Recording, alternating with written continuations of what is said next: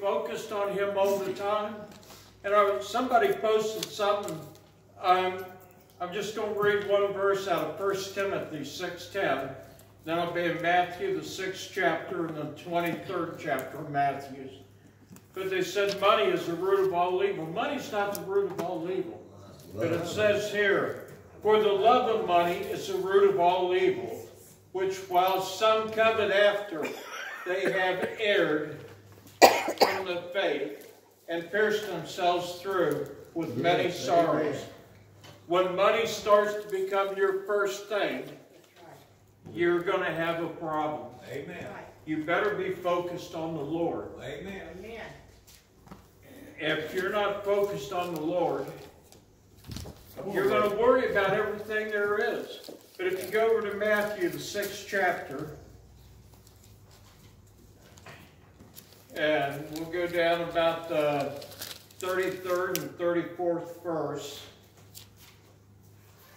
But seek ye first the kingdom of God and his righteousness, and all these things shall be added unto you. Hallelujah. Take therefore no thought for the morrow, for the morrow shall take thought for the things of itself. Sufficient unto day is the evil thereof. You got enough problems going on today. You need to not be worrying about tomorrow. Tomorrow will take care of itself. Yes, it will, And if you're following the Lord, He'll give you a peace. And I took care of mom and dad, many nights I'd lay in bed. I did not know what I was going to do about tomorrow. Problems coming up, decisions we'd have to make. But I'd talk to my father, and I'd spend time in prayer, and I would take time and sleep like a Christian. They say sleep like a baby. No, I say sleep like a Christian. Because if you're truly walking with the Lord, you're going to have peace. You're not going to have turmoil in your mind. And if you get the turmoil gone from your mind, then you can get a good night's sleep. Wake up in the morning facing the problem that was still there, but I had a clear mind and I was ready to face it because the Lord was going to take care of it. And when He took care of it, it is taken care of. And I'll, I hadn't thought of it, but um, Dad was at mine about in the social worker we had. Let's just say um, she wasn't a nice person. And she informed me we couldn't get Dad's mood swings to stabilize. And she informed me my dad would go to a nursing home, that I don't have a choice. I said, yes, my brother and sister and I will decide what is best for my father. Amen. You don't have that choice. And while you're at it, your mother needs to be in care of professionals can properly take care of her. My mom was about seven and a half years in Alzheimer's. And I had my hands in my lap and I looked at her kind of sheepish and I said, excuse me. I've been taking care of mommy and daddy for six months. Mommy's memory and motor skills come back 30%. What am I doing wrong? Oh, they have? I, exactly. You know nothing about me or my family, but you know what's best? No, I don't believe you do. Well, in the morning, they're going to kick my dad in the nursing home. I went home and I cried like a baby. But I talked to the Lord. I said, I can't change her heart and mind. You change it or you move her out of the way, and I don't care which. Went down the next morning, had a different social worker. Her name was Joy. And I said, What happened to the other lady? She said, We don't know. She called in and said she needed a two week leave of absence. When we asked her what was going on, she screamed at the top of her lungs, said, I can't talk about it, slammed the phone down. So I know where that came from. Thank you, Lord. Appreciate it. She laid out if we brought Dad home what we need versus nursing home. She had about four pages she wrote up. Told us everything we needed. God will provide everything you need if you're working with Him and trusting Him. Yes, amen. And ultimately, Dad had to go to a nursing home. But she brought things up we would have never thought of. But you see, the Lord will provide everything you need. And then if you go down to this Matthew, well, you're seeking the first kingdom of God. But go to the 23rd chapter of Matthew, we'll start at the first verse and go down a little ways, and then we'll jump towards the end. But when I have found when you're working with the Lord and you're right where you need to be, the churches, I've been in some churches, mom and dad's church we grew up in. It was a big Lutheran church, it was a pretty church. And when I got saved, it was Black Holiness Church. Sanctuaries built onto the house. And people said, why would you go to a dump like that when you got that big, beautiful church down there? You can come into the most beautiful church, the most ornate church in the world, and it can be deader than 4 a.m. And there's no spirit. Nothing. But you walk in through this door, I'll go Sunday night, I'll say the same thing, whether he's here or not. I have always felt the Lord there. Praise God. And that's, nobody can even be there, but I feel it because there's a prayer, a reverence Amen. and an anointing that will be there when a church is right. But you go, oh yeah, but the church is beautiful. Well, yeah, on the outside can be beautiful. What's on the inside? Come on, brother. That's right. We got to start looking from our heart, Amen. not the natural eye. And when we do that, and people say I'm a clothesline preacher. No, I'm not. But I look to see what you've got on when you come to church. And I've never seen you without your robe of righteousness. And that's what I want to see. Amen. Same thing with Brother Grover. You know, where I go to church. That's one thing I look for. Do I see the anointing of the Lord on me? And if I do, and I went to church one night, and pastor was very strongly anointed, and I did not see it on him that night. And I thought, what's going on? He wasn't called to preach that night. He thought he was scheduled, but the Lord scheduled somebody else. That person had the anointing. When the anointing's there, it will be. But we'll read down a little bit. Then spake Jesus to the multitude and to his disciples, saying, The scribes and the Pharisees sit in Moses' seat, and all therefore whatsoever they bid you observe, that observe and do. But do not ye after their works, for they say and do not. How many people are preaching and telling you to do things, but they're not doing it? They're not living it. Well, if they're not living it, it's not real. Said about Pastor Wilkes in Alabama, he'd come up for a five-night watch every year at our church. And they said, there ain't no way he lives it. I've been in his house, trust me. He preached it hard, but he lived it that way. And they said, you really believe that? I said, yeah, I've been in his house. And the peace they had in that house, raised eight kids on olive oil and Bible. He said, we couldn't afford a doctor. But he said, it works. And when I was down to their house, they had a refrigerator there and you can still see the oil marks on the top. One of the kids left the freezer door open, and they got home from church. Everything was melted. Ice, ice cream, milk, everything ruined. Freezer had burned out. And he said you could smell it. They cleaned the mess up.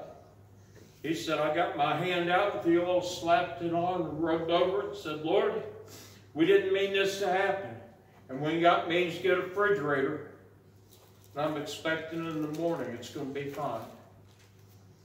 He's filling up the ice cube tray. His wife said, what are you going to do? He said, I'm going to have ice water in the morning. he woke up in the morning, had his ice water. And 23 years later, it's still working. Praise God. Now, we can pray and have faith, and we can believe. But then are we acting on what we're believing? Right. When he says you're healed, then do you go ahead and just believe you're healed? Amen. Or do you, well, I ain't seen it yet. My left fingers don't work quite how they should yet, but they're going to. Come on, brother. And I'm not backing down from that. People say, well, yeah, it's been three years. It's been a little over three years. Doesn't matter. Rome wasn't built in a day. Come Your on. healing's not, healing is a process. It is not something that's going to happen instant. That's a miracle. I'm going to walk in the blessings of God and His healings. And if I do that, then my mind's going to get focused on Him and not the situation. And that's what we need to. But they preach a lot of things. But are they living it? Are we seeing it real in their lives? And the pastor I got saved under, He'd be stretched out on the floor reading the Bible when you come to the house. Rarely ever wasn't he reading the Bible. and he'd pray every day, give me one more nugget, Lord. I'd like one more little revelation. Are we seeking for another revelation from the Lord? And if we would do that, would we maybe not pray for Pastor Maggard, Pastor Grover? Maybe if we'd start praying for him every day, we'd have better services. Because you're bound to get focused on, hey, Wednesday night's coming up. I want to see something happen tonight. Yes, and then you get here, you're going to be excited. Well, maybe we should be excited. Because if you're preaching to numbers and you don't have many come out, you're going to get disappointed. But you take what you have and you go with it. Yes. You may not like it, on, but you go with it. Because God will provide who's supposed to be there. And the ones that should have been didn't come, they lost out. Amen. But we'll read a few verses down before we jump over. And fifth verse. But all their works they do for to be seen of men. They make broad their phylacteries, enlarge the borders of their garments, and love the uppermost rooms at the feasts and the chief seats in the synagogues and greetings in the markets, and to be called of men, Rabbi, Rabbi. But be not called Rabbi, for one is your master, even Christ, and all ye are brethren, and all call no man to your Father upon the earth. For one is your Father, which is in heaven. They want the best seats. They want to be seen of men. Come on, brother. Well, if you're putting on a show, you ain't right with God. Amen. You need to be humble Amen. before the Lord. And my pastor, where I got saved, they don't, oh, you're going to sit up with the pastors. He'd always sit in the back. He said, I'd rather they call me up front than to me go up front and have to move to the back. Well, that's in the Bible. And I, I thought about an evangelist they called to preach one Sunday at a church and they spoke, or he was an anointed evangelist. And when he walked up, man, that brother was strutting the stuff because, man, he had it. he got up there, the Lord dumbed his mouth, and he couldn't speak. Well, he walked down with his head in shame because he couldn't preach. He went up in himself, right. glorying in what he could do, instead of what the Lord will do through him. And that's what's important. You know, thank you all for a good message, but they always, you know, it was the Lord. And it was the Lord, and I know that. But I'm giving honor to the vessel that he used. But if we get arrogant or we want to be seen of men. I've been told I shouldn't wear a tie. I'm getting worldly and too, too flashy. But then I've also been told you need to have a tie to preach. No, you need to have the Holy Ghost inside yeah, of you to preach. Yeah, it ain't about your shirt or your clothes. On, if you got the Holy Ghost inside of you, then you can do something. Right. Because then you'll allow Him to speak through you. Yes. So it's not about how you're dressed. And, you know, they, a lot of times they get to talking about the women, how they dress. But we ought to talk about the men too, because some of them don't dress appropriate either. Come on, brother. But I stopped for Amen. pizza one night, and there were two ladies, they had real long jean dresses on. They had their hair up in PhD. And they looked like the perfect picture of a Pentecostal woman. and I thought, well, they must just come from a revival or something. So they spoke. I got about 10 feet away, and I plainly understood I wasn't going to talk to those women. Their language was horrible. And they was talking about things nobody should be talking about. Come on, brother. You look at the outside Amen. and you see what you think. But you got to be looking to the inside. Pay attention to what they're saying. And if we would start doing that, and I'm not saying when you see somebody's wrong, go up confront them, but talk to the Lord. How do I approach this? How do I deal with it? Sometimes your silence will hurt them more than if you said anything. Because you're the conviction that will come on them without, and I'm not bragging on me, but I'm bragging on the Lord when it's on you. And years back, I won't share all of it, but I was asked not to say anything about them drinking and alcohol, I said, I won't say a word. They said, please don't. I said, I'll let the Lord speak. He did. I never said a word, and the more I blew it off, the guiltier they got. And it got rather funny because if you're walking right with the Lord, they will know that. Right. And you don't have to show it. You don't have to have Christian t-shirts. There's nothing wrong with that. But if they can't see the righteousness of God in you without all that, because it's not about what you're wearing, it's about what you have inside. Yes. Where I got truck company I drove for for nine years or so, Harlan Wigington, sweet man of God. Never, ever heard him speak ill of anybody. And he would carefully choose his words so he didn't. And I talked to him all the time about the Lord. I wasn't saved. Well, I quit to take care of mom, and dad, and about a year later I went back. I got saved, and and I I went back to terminal and got talking to Wiggy, and he got the cutest grin. He said, "You done what? Got yourself saved, didn't you?" I said, "Yeah, I did. Why would you say that?" I always suspicioned you knew of him, but now you know him for real. Amen. There is a change that will be made when you come up from that altar. And when that change happens, praise God for that change. Because people will see the difference in you. And my ex-fiancée, she said after her mom passed, she thought about going out to church where I got saved. But she was raised Catholic and one thing and another. But um, one of my friends said, if there was that drastic a change in somebody, I'd want to go find out what's going on in that church. But some people, they won't go. They won't find out. They'll have religion, but they won't have relationship. And we're going to jump over to the last part. Um, start around the 23rd verse. It said, Woe unto you, scribes and Pharisees, hypocrites! For ye pay tithe of mint and anise and cumin, and have omitted the weightier matters of the law, judgment, mercy, and faith. These ye ought to have done, and not to leave the other undone. Ye bind, you blind guides, which stain and strain at a gnat, and swallow a camel. Woe unto you, scribes and Pharisees, hypocrites, for ye make clean the outside of the cup of the platter, but within they are full of extortion and excess.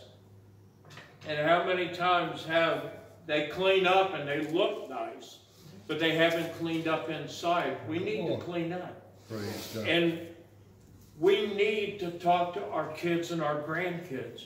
Let them know there's a heaven to gain, a hell to shun. And if we don't, and my ex-fiancee, when her family gets together, there was a book written, Divine Revelation of Hell. And she said the Lord took her in the spirit 40 days or 40 nights into the depths of hell. And it's, it's a horrible book. I mean, the things in it. And people said they didn't believe it was real. Real or not, it did line up with the Bible. But if it gets you to line up with the Word, it's yeah. Well, I had it laid out at her mom's house, and they had some of their grandkids, was grade school, you know, maybe four-year-old, six, eight, ten, whatever. I got jumped on. They said, they don't need that book out there. You need to get that thing hid. I said, why? They, need, they don't need to know about hell. Yes, they do. Yes. We need to teach our kids yes, and our grandkids, our great-grandkids. We need to let them know about it. We need to preach to them that way. And I say, yeah, but it's going to scare them. Well, maybe it'll scare them straight to where they'll get right. It'll put a conviction on them. I remember growing up, we never had those kind of messages in the church I was raised in. And nothing against the Lutheran church, it's just, it's a different way. But then after I got saved, I started hearing messages about hell and damnation and the blood. And I realized we need to preach that. Yep. We've got to start preaching that more and more. And when our hearts get cleaned up, then we will preach the true Word of God. Amen. But if our hearts aren't clean, can you really preach the truth? When you're in the middle of being a drunk, how can you preach against alcohol? It's going to be hard to do that. Elder Taylor said when they was 17, 18 years old, and he said there were, I forget how many kids, there were a lot of kids in their family. And when his daddy was getting close to his deathbed, he called him in out of all the kids. He said, if you ever want to see me again, you better get right with the Lord. He said, boy, that hurt me more than anything. Yes, hallelujah. But he said they was outside and there was an evangelist preached and first three nights he preached pretty good. Well, Thursday night he come out and they all had some corn liquor was drinking it. He said, hey, where'd you guys get that? He said, I always like a little taste. Gets my tongue loose where I can preach better. he said, oh, he preached real good that night. Not really, but he thought he did. If you got to have something besides the Holy Ghost, then you can't preach Amen. right. Come on, brother. You've got to have that in your life, and if you do, Yeah. you're going to preach right. But if you don't have that in your life, you better get it. And you better stay after it. Because the devil will come. That's right, brother. And he will try to take away or say, well, you shouldn't preach that. My pastor, Grover, came tonight. Thank God he came. And the minute he walked in, devil said, you better watch what you preach. Why? I'm just going to preach the gospel. I'm Amen, going to brother. preach the gospel. But don't put any thought he can in your head to try to disturb Praise you. God. And then people testify in that. You can build on those. But you can't let it. When he gives you something, that's what you need to preach. Amen. And I thank the Lord for it. And I'll read a couple verses here and then we're going to. Him, Jesus. Woe to you, scribes and Pharisees, hypocrites, for ye are like unto whited sepulchres, which indeed appear beautiful on the outward, but are within full of dead men's bones and of all uncleanliness. Even so, ye also outwardly appear righteous unto men, but within ye are full of hypocrisy and iniquity. We're going to close on that one, but just because it looks good doesn't on, mean that it is. That's right. Amen. Uh, I was invited years back, I was renovating a building, and the brother uh, was helping me, Brother Martin, he's 70 years old, he did some brickwork for me. And he said they were wanting to have a revival at their church, but he said, we got to build an altar. I said, Lord, if that's all keeping you from revival, I'll shut the building down a couple days and I'll go help you build one. There's a little church behind the Miracle Lane used to be up in Dayton. And if you saw pictures of houses of Hurricane Katrina, would have made this place look, this place would have looked clean compared to them. They had wires hanging down in the back. It was a house, they built a sanctuary in the front. But when you walked in, there was an anointing in that building. It was priceless. And we we took three days. We built an altar. And we went down and got materials. Was down at Miami Hardware, and their aisles are real close together. And he and I got to singing about the blood, eating our lunch. And we went in there still singing about the blood. We never lacked space to get in any place there. Nobody wanted to be near us. And we got the altar built. And I went for a couple nights of revival. And the pastor was an elderly lady. And that girl was anointed. And she could preach the word. And I'm glad that I took time and did that. But had you looked at the building itself, you'd say, good Lord, why would you want to go here to church? Because Jesus is there. Amen. And I want to go where he is. That's right. And if he ain't there, do I want to be there? I'm not sure. Unless he sends me, because then Jesus will be there. So are you walking with the Lord? Is he inside? Him and his father, they said they'd take their abode up. And if they took their abode, then wherever you go, Jesus is there. And if he's there, let your light shine bright, that all the world can see the joy of serving Jesus with a smile.